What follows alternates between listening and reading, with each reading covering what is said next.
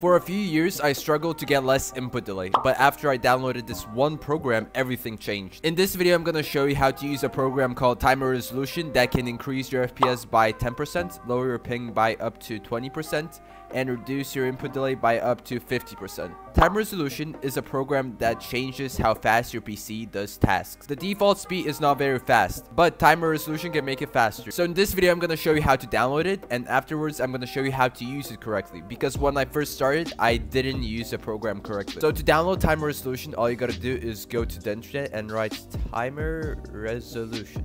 Then hit the first link where it says Timer Resolution and when you get to this page, what you want to do is scroll a little bit down and hit on download. I created a separate folder for timer resolution and I would recommend that you would do the same. Now you want to find the file and left click and press extract here. When you extract timer resolution, all you want to do is just left click go to properties, then go to compatibility. Make sure to run this program as an administrator. And afterwards, make sure to run this program in compatibility mode and make sure it says Windows Vista. It really doesn't matter what Windows version do you have. For example, I have Windows 10, but make sure this says Windows Vista. It's really important.